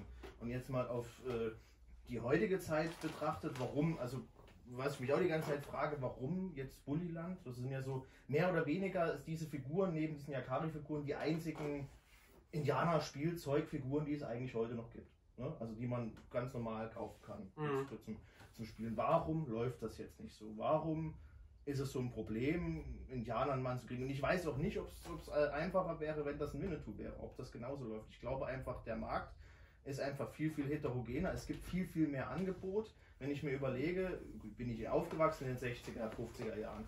Aber ich glaube, zu der Zeit, da gab es weniger Spielzeug als heute. Da gab es eben Spielzeug für die Mädels und es gab Spielzeug für die Jungs. Und bei den Spielzeug für den Jungs, das war natürlich meistens das, was damals aktuell war und up to date war. Das waren Indianer, das waren Cowboys, das waren Ritter, das waren Piraten. Das zog sich noch vielleicht bis in die 80er Jahre hinein. Aber dann spätestens mit allen möglichen anderen Sachen, mit Star Wars, mit Herr der Ringe, mit ähm, Elfen, Einhörnern, Tralala, Firlefanz, äh, Harry Potter, äh, erweitert sich ja so dermaßen dass der Kosmos und das Spektrum, dass heute Indianer und Cowboys eine Partie von vielen sind. Und da kann ich mich auch als Kind schon entscheiden, kaufe ich das oder, oder ich habe hier noch die Elfen und die Einhörner, die Feen, die finde ich vielleicht jetzt viel spannender, weil die mir nochmal ganz andere Welten erschließen und zumal diese ganzen Cowboy- und Indianerwelten, das sind ja auch Welten von meinen Eltern oder gar Großeltern oder Urgroßeltern. Das ist ja schon ganz von gestern und das ist auch schon ein bisschen, ein bisschen altbacken und altrüchig und ich kann doch heute in ganz andere Welten entfliehen. Und ich glaube, deswegen haben diese Figuren es auch einfach schwer. Und bei Yakari, glaube ich, ist es deswegen der Punkt, gerade mit dieser Serie und mit diesen Figuren, bei Yakari zog einfach ganz, ganz stark der Hier ist Niedlich noch eine Yakari-Figur. Ja. aber da zog ganz, ganz stark der Niedlichkeitsfaktor. Und es lag nicht unbedingt, meiner Meinung nach, an Yakari direkt an dieser Figur, sondern an dem Drum und Drum dieser Serie. Was spielt nicht bei Yakari? Da gibt es den kleinen Donner, das liebe, niedliche Pferdchen, da gibt es den großen Adler, dann spricht er mit irgendwelchen Eichhörnchen, die sind alle niedlich und toll und süß gezeichnet. Und für so ein vier-, fünfjähriges Kind, das findet das toll und das verbindet es natürlich dann mit Yakari. Das Stichworte, Sie haben vollkommen recht, aber das ist eben der, der Erfolg von Yakari ist natürlich, es ist eine ganz andere Zielgruppe Ja. als Karl May. Ja. Also wir wir reden hier über Kinder, wo Mhm. Karl May im Prinzip bisher nichts zu bieten Richtig. hat. Und, äh, und wir haben da ein paar Kleinigkeiten versucht, aber wir haben nicht die Durchsetzungskraft, die äh, Das, das andere. funktioniert auch nicht mit Karl ohne die Filmbegleitung von Yakari wäre Yakari auch Ja. uninteressant. Ja. Also es ist, äh, Ja. es ist der Film, wie ich das vorhin auch andeutete. Und hätte Karl May im, im, im Zeichentrickfilm einen Erfolg gehabt, äh, wäre es, gäbe es das heute statt Yakari parallel als Winnetoons. Und äh, das andere, was Sie sagten, die Marvel-Figuren sind eigentlich heute. Die Ja. Marvel-Comics Ja. sind halt so Ja. äh, überhaupt das Thema, wie in der Literatur eben auch Fantasy äh, eben den Rang abgelaufen hat. Das ist kein Thema, das wird sich auch nicht so schnell umdrehen. Also wir werden nicht mit Karl May alles zurückholen können. Wir haben nur die Hoffnung, dass er äh, als, als überhaupt äh, ein Dauerbrenner, ich meine, viele sind einfach ganz weg vom Markt. Und ich denke, dass Karl May die Chance hat, aber eine, ein, nicht nur ein Nischenprodukt, sondern aber als erfolgreicher Autor weiterzulaufen. Meine Ge- Das ist er aber eigentlich, das haben Sie vorhin auch gesagt, eigentlich weiterhin. Wenn man wirklich guckt, also das ist ja unglaublich, dass Bad Segeberg seit zehn Jahren ein Besucherrekord nach dem anderen macht. Und wenn man nicht dort ist, glaubt man es eigentlich fast gar nicht. Und ich bin eigentlich jedes Jahr dort und du kriegst ja teilweise, wenn du nicht äh, ein halbes Jahr im Voraus Karten bestellst, gar keine Karten mehr. Und das Stadion ist selbst am Nachmittag mit 8000 Leuten komplett voll besetzt, auch unter der Woche. Und man denkt, also die Leute ziehen, also glaubt wirklich, dass da 400.000 Leute dieses Jahr da waren. Und mit den anderen Bühnen hochgerechnet ungefähr 10 Karl-May-Bühnen in ganz Deutschland, dann in Österreich, Schweiz, da hast du 700.000, 800.000 Leute. Dann laufen Weihnachten und Ostern immer die Klassiker. Dazu gehört neben Sissi eben auch die Karl-May-Filme, wo auch jetzt wieder Weihnachten so, die haben relativ gute Besucher, äh, Zuschauerzahlen. Äh, äh, es, es gibt jetzt eben diese, diese Sparte mit diesen Kostümen, wo ich denke, dass die vor allem bei den Erwachsenen gut ankommen, weil die eben sagen, oh Karneval, gehen wir heute mit meinen Freunden weg, ich verkleide mich mal als Schuchi. Ist doch lustig, haben wir im Film gesehen. Bei Kindern muss man gucken, wie es läuft, die haben halt noch viele, viele andere Facetten. Also von daher ist ja Karl May eigentlich noch aktuell. Mit dem Buch hat er ein bisschen die Probleme. Sind ja Aber das kommt vielleicht viele- Ja, das, das hängt aber mit dem Lesen auch Ja, zusammen und, ja. und Vorurteilen, die, Ja. gegen die er schon anzukämpfen hat. Das ist eben, wir haben heute eine andere Gesellschaft, die, die, die Bühnen äh, profitieren eben davon, dass man sich heute halt lieber unterhalten lässt. Mein, Ja. Und das ist, ist, ist, ist unglaublich und jeder kennt es aus seinem Umfeld, wie, wie viele Leute es gibt, die auch offen zugeben, dass sie im Jahr kein einziges Buch lesen. Hm. Also man muss das eben einfach äh, sehen. Und ich meine, ich finde die Entwicklung als Verleger sowieso, aber generell natürlich äh, negativ, aber sie ist Realität. Jetzt haben wir da hinten noch eine Wortmeldung. Wenn Sie Ich Ihren wollte, Namen nennen Sie würden. haben- Bitte? Wenn Sie Ihren Namen nennen würden, damit wir Ach so, Angelika Weimann. Ja, danke. Sie haben vor uns angefangen mit der Bemerkung, dass man eigentlich zum Indianer äh, ohne Kornei kaum kommen kann. Äh, das, dem wollte ich widersprechen, weil ich bin ja zum Beispiel äh, da wirklich, oder ein gutes Beispiel dafür, ich bin nämlich hier in Meißen geboren, vor über 60 Jahren, äh, war als Kind schon hier im Karl-May-Museum, aber es gab äh, für uns kein Thema Karl-May zu der Zeit in der DDR, logischerweise.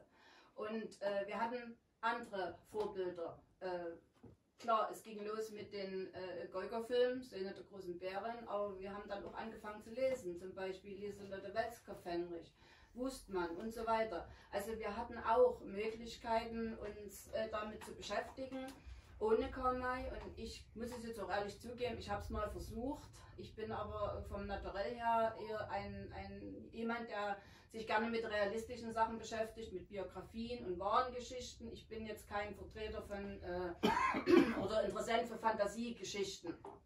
Und ich habe mich faktisch dann auch äh, mit den Büchern nicht anfreunden können. Das ist mir alles zu langatmig, zu fantasiereich. Aber das ist ja eine Ansichtssache. Das ist ja jetzt nichts Negatives.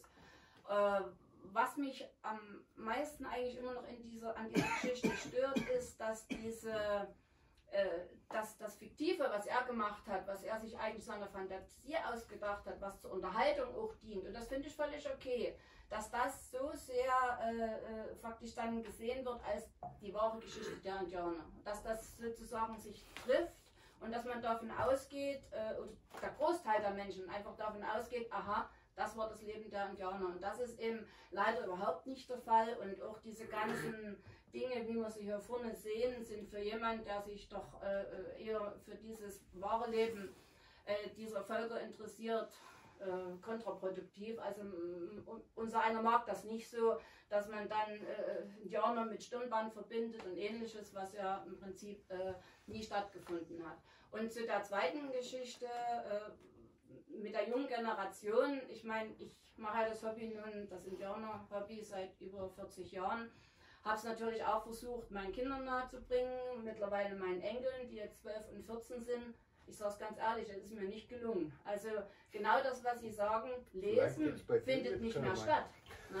Egal. Man kann denen vorlegen, was man will.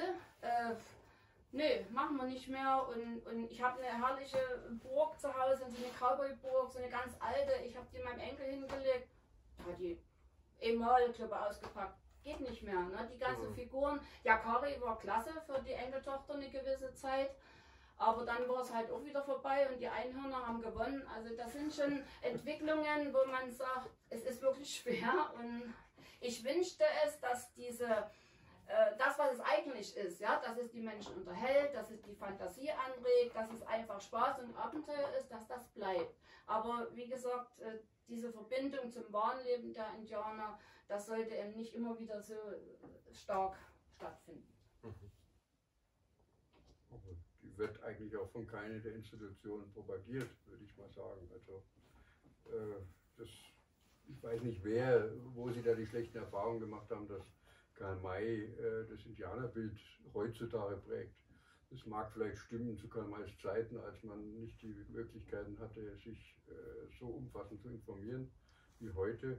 Aber also mir ist jetzt Mhm. nicht bekannt oder auch so ein Vorwurf, dass also Karl May heute irgendwie das, das Bild der Indianer verwendet. Also äh, das würde ich aus heutiger Sicht ein bisschen als weltfremd ansehen, weil ich meine, er ist, äh, äh, es ist ja nun sehr leicht alles nachzulesen und zu festzustellen, dass Karl May eben Fiktion ist, wie Sie ja auch richtig sagen, schöne und eben die Fantasie anregt und hier an die Fantasiewelten uns bewegen bei Karl May. Und äh, es ist schön, wenn man die Indianer auch anders finden kann, aber mein Interesse zum Beispiel, Indianer ist durch Karl May gekommen, aber das ist, das ist natürlich auch bei jedem anders. Ja, ist ja auch örtlich logisch. Und das ist ja nichts. Und ich, ich wollte es auch nur so dargestellt haben, dass Wir es etwas Positives ist, Mhm. äh, dass man eben dazu äh, kommt und man kann natürlich äh, zu verschiedenen Themen auf verschiedene Wege gelangen. Und ein, äh, ein Weg ist sicherlich Karl May und äh, sicherlich auch vorher, wir haben es gehört, die ganzen, die es schon vorher gab, die uns das nahegebracht haben, aber bleibt da immer noch das Ungewöhnliche, dass sie eben auch über eben auch über eine Autorin, wenn Sie sagen, die Frau Wetzkopf-Hendrich oder so, haben sie ein, so gesehen vielleicht trotzdem einen ähnlichen Weg gehabt, eben nicht über Karl May, sondern über eine andere. Ich meine, das ist doch eigentlich eine Parallele. Mhm. Selbst der Niedergang der Welskopf-Henrich-Bücher ist dieselbe Parallele Ja. zu Mai. Mhm. Die kennen Sie heute auch. Wie, Ja, sie hat nur immer versucht, so an, annähernd so ähnlich zu sein, aber der Erfolg ist doch schon ein anderer. nee, aber es ist doch genau dasselbe. Also gu- gucken Sie bei eBay rein, da erkennen Sie ein Karl-May-Band, kriegen Sie für, für ein, ein, ein Euro. Ja, Den liegt- Welskopf-Henrich kriegen Sie auch für einen Euro. Allerdings, das ist mir, tut mir natürlich sehr weh, aber ich muss es halt hinnehmen, weil das liegt an dem Riesenerfolg. Das ist ja Äh, weil halt nun mal, ich meine, wenn sie 100 Millionen Bände auf dem Markt mal Ja. geworfen haben von Karl May, dann äh. Äh, es ist zwar Gott sei Dank, Gott sei Dank, Gott sei Dank, möchte ich gleich dreimal sagen, dass wir keinen Krieg mehr haben und hoffentlich auch nie mehr einen bekommen. Oder, oder auch andere Naturkatastrophen oder sonst was. Diese Bücher vergehen eben nicht einfach, die sind da. Ja, und deswegen ist dieser Gebrauchtmarkt so groß. Ja. Und äh, deswegen leben wir auch heute mehr davon, dass eben auch Bücher, erste Bücher verschenkt werden und man Gott sei Dank nicht das Ebay-Buch für einen Euro kauft und dann weiter verschenkt, sondern als Geschenk sich dann doch ein neues Buch kauft. Mhm. Aber äh, das ist durchaus ein, unser, unser größter Konkurrent, nämlich wir selber, unser Erfolg der meiner Vorgängergeneration. Dann kann man vielleicht als Schlusswort sagen, also wir, wir hoffen, dass der Erfolg noch möglichst lange weitergeführt wird, idealerweise die nächsten 100 Jahre und äh, damit einhergehend auch in welcher Ausprägung auch immer, wie authentisch auch immer, ähm, ähm, ja, die, die Faszination, die Indianerbegeisterung anhält, ob über Bühne, wie, ob authentisch oder auch vielleicht nur als, als, als, als äh, Hingucker äh, im Karneval. Also es ist in jedem Fall etwas, was, äh, was, was, was noch, noch lange Sichtbarkeit haben wird und äh, da wünschen wir Ihnen natürlich, äh, dass Sie Ihren Anteil daran auch haben als Verlag. Das wünsche ich dem Museum auch. Dankeschön und vielen herzlichen Dank, Herr Schmidt, fürs Kommen und Ihnen vor allem fürs, fürs Mitdiskutieren und für Ihre wertvollen und wichtigen Kommentare. Dankeschön. Danke.